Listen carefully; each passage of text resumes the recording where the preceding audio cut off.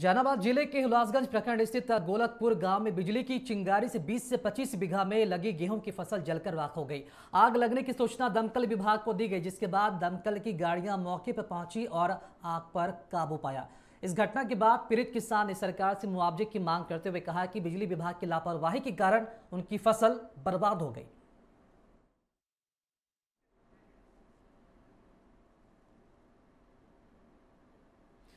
और इस खबर पर अधिक जानकारी देने के लिए हमारे साथ पंकज जुड़ चुके हैं संवाददाता। जहानाबाद से बड़ी खबर आई है पंकज, जहाँ पर लाखों रुपए का नुकसान हुआ है किसानों को, क्योंकि गेहूँ का फ़सल जलकर राख हो गया है। किस तरह की लापरवाही हुई है प्रशासन की और बिजली विभाग की ज़रूर चाहेंगे बताएँ।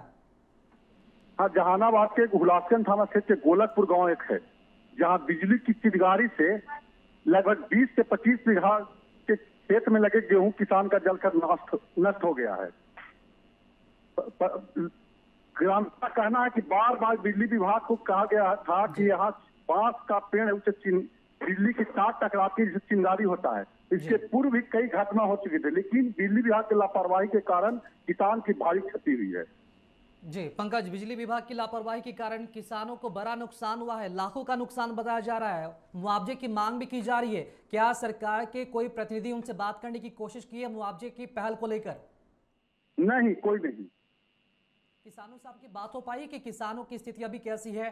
क्या कोई उनका प्रतिनिधिमंडल सरकार से या फिर बिजली विभाग के प्रशासनिक अधिकारियों से मुलाकात करेंगे और ये इस मामले की जानकारी देंगे उसे?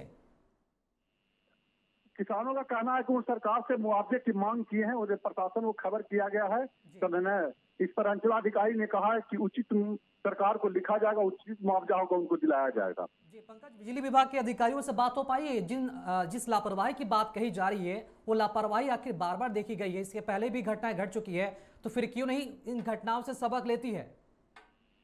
नहीं बिजली विभाग के कोई पदाधिकारी इस पर कुछ बोलने के लिए तैयार नहीं है। चलिए, बहुत बहुत शुक्रिया पंकज आपका इस खबर पर अधिक जानकारी देने के लिए। तो जहानाबाद में लाखों रुपए का फ़सल का नुकसान हुआ है किसानों को और एक तरह से देखा जाए तो बिजली विभाग की बड़ी लापरवाही के कारण यह घटना घटी है और मुआवजे की जो मांग है किसान लगातार सरकार से कर रहे हैं क्योंकि लाखों का नुकसान हुआ है और साल भर का जो मेहनत है वो किसानों का पानी में बह गया।